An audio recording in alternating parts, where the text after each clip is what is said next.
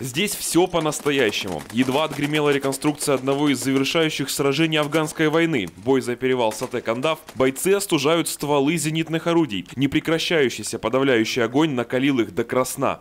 Наша задача была поддержка наших бойцов на рубежах.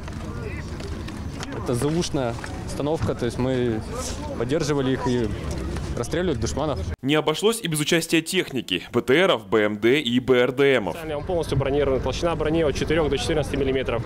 Вот, а вот эти вот штуки специально закрываются, потому что единственное место, которое не бронировано, это лобовые стекла во время ведения боя. Также здесь предусмотрены триплексные стекла. То есть он был выпущен в 1986 году, а снят с вооружения такие модели в 1989 году. С пулемета, с автомата пробить нельзя, только противотанковое оружие, гранатометы. Сергей Назаренко коллеги называют «батя». Он здесь самый старший, к молодым реконструкторам относится по-отечески. Почему я это все реконструирую? Это, это мой мозг. Я вот это мой сын Андрей. Вот, Назаренко. Мы это, вот этим занимаемся. А молодежь приходит, потому что им интересно. Мы им читаем историю, мы им рассказываем, правду рассказываем все про это. Когда они это все читают, у них вот действительно слезы на глазах наворачиваются, когда мы им рассказываем там. Но кто-то должен играть роль плохих парней. Андрей Бурдов приезжает из Североморска на Крымский фестиваль каждый год. В первый раз их приехало лишь четверо. Теперь участников достаточно для полноценной реконструкции боевого эпизода. После они знакомят посетителей с культурой афганцев. У нас, естественно, у всех, кто занимается душманами, у нас есть комплекты на советскую армию. Просто так как мы издалека, нам проще ехать по, по такому легкому, а, чем вот вести бронежилеты, допустим, да, и какое-то там тяжелое снаряжение. На самой вершине расположился Каструм, римский военный лагерь. Я рад поприветствовать вас на территории нашего дальнего приграничного Каструма, который находится на границе Римской империи, в Антикопее.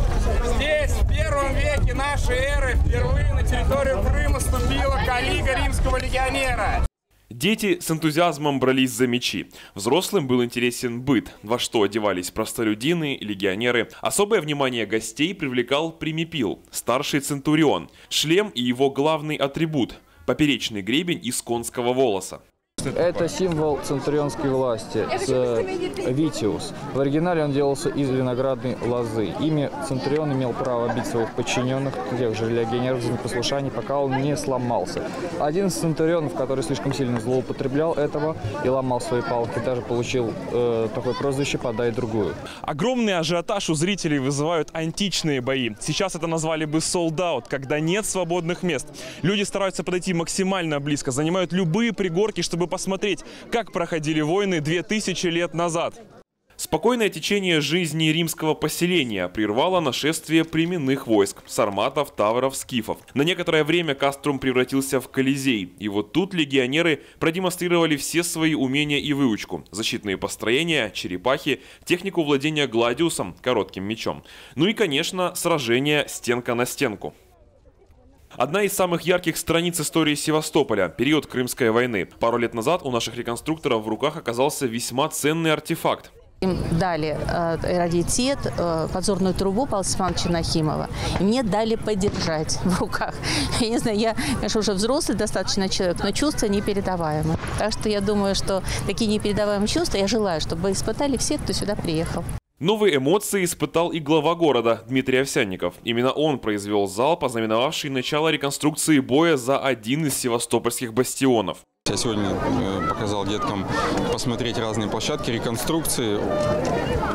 Эмоции самые положительные. Вы даже выстрелили из пушки, как вам это? Да, я до сих пор отряхаюсь от, от э, пепла, пороха и всего остального, что из этой пушки вылетело. А мне интересно то, что как э, реконструкторы, те, кто увлекается э, своим увлечением, дарят возможность всем окружающим, кто приезжает на это событие, окунуться в разные эпохи.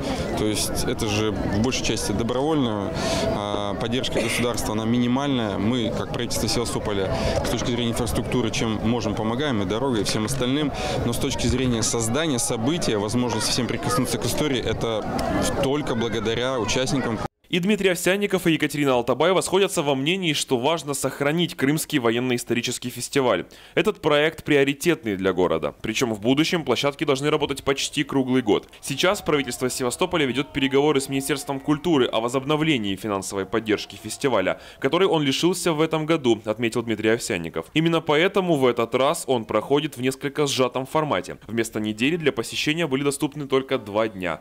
При этом качество работы площадок не пострадало, и гости остались в восторге. Очень нравится, то есть вот моя жена, то есть она тоже в восторге. Да, нам очень понравилось. У нас такого нет, и побольше бы таких мероприятий. Нравится представление и вот э, постановки э, битв разных, это очень интересно. Детей переполняет море эмоций. Я стреляю автоматом, чтобы сильным.